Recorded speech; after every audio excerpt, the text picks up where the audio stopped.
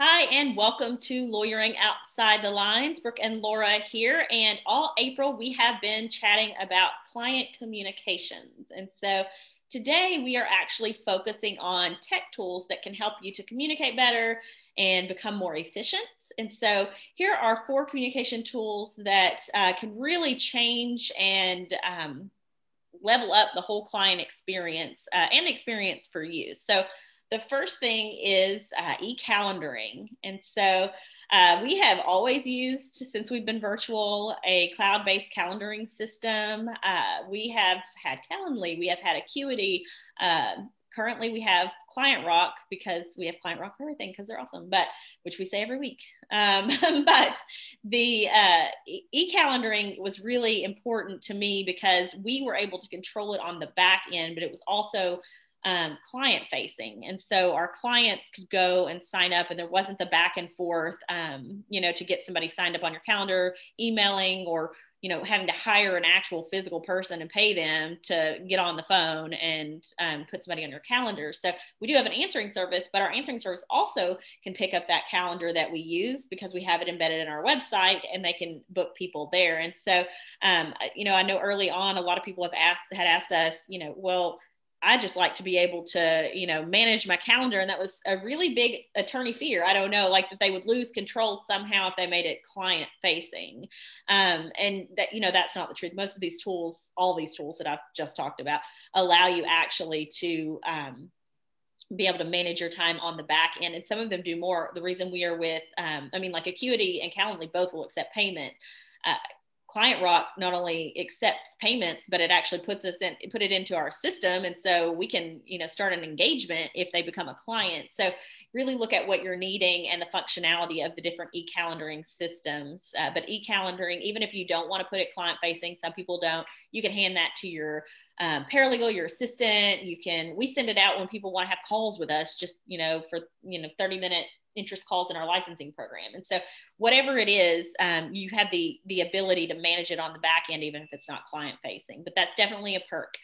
And that brings me to number two. I mentioned our answering service. We use Smith.ai, but uh, part of our package, uh, they uh, include a chatbot. And so if you heard me all the other times I've talked, I've said I love chatbots. And so it really has leveled up our ROI um, as far as people getting on the website and people actually signing up to have a consultation with us. Um, they can serve multiple purposes. You can, if you don't have an answering service like we do that has some option like that, there are all sorts of widgets that you can install. Um, I know there's a WordPress one that I think might be free uh, that our marketing people told me about, but anyways, if you can look into chatbots and figure out what functionality you need, it's a really awesome way to be able to get your client through your website. They can navigate your website, whatever your purpose is. When they come to your website, you are able to kind of, I don't want to say manipulate because that's not what we're doing, but you're able to guide and help them navigate uh, the, the website and get them to the important places that they need to be that you want them to be. And so you can customize yours. Ours, Laura spent a while working with them to customize ours um, based on, you know, what state they're in and what attorney does what kind of practice area. And so ours is very customized because we want it we don't want to feel super impersonal, um, but it's a really great tool and, it, and it's been very advantageous to us. And we've seen a, a pretty big jump in people actually signing up on our calendars because they've had that guided assistant. Yeah.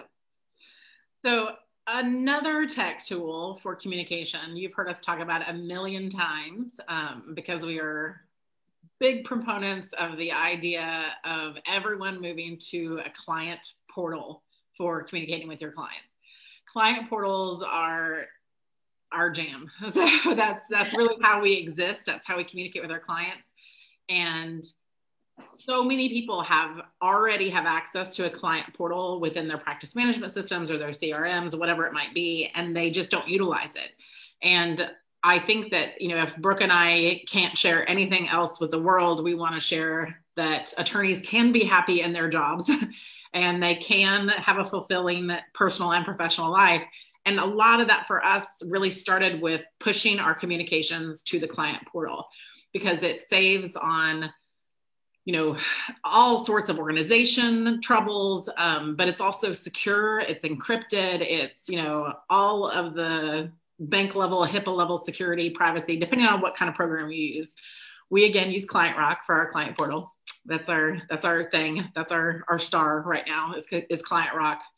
And we can file share, we, you know, ask questions, they can send us documents, they can send us pictures, like whatever we need to do, we do inside of that one place, that client portal. And that tech tool is the foundation basically of our law firm and how we communicate with our clients. Uh, I will mention that um, Brooke and I have both seen people talking about moving clients to a, you know, messaging type tools for communication, things like Slack or Messenger or those types of things. And I want to make you be aware and caution you a little bit on using any kind of tool that's not secure, not doesn't have encryption, doesn't have the proper privacy kind of background um, embedded in. Slack is great. We use it internally. Um, make sure that you are using paid versions of these things and not free versions because free versions are never private. Just keep that in mind. Uh, so don't use free versions of stuff. Use business, enterprise, that kind of thing if you're going to move people to tools. But I do want to do a little quick shout out to a tool called ArmorText, which is a um, it's a uh, internal messaging tool for businesses that was not created for the legal industry. It was created for I think the oil and gas industry, and we've used it for a lot of years uh, for internal um, communications as well as Slack. But the the benefits of armor ArmorText are huge because they um, their level of security is so high it's beyond what anybody else is doing really because with this download on your computer on your ipad on your smartphone it's encrypted the encryption is for the person but also for the device. So if somebody loses their phone or um, gets a new phone or you know uh, leaves it in a cab. I don't know why I'm talking about this right. I just say leave it in a cab because we're all taking cabs right now. Uh,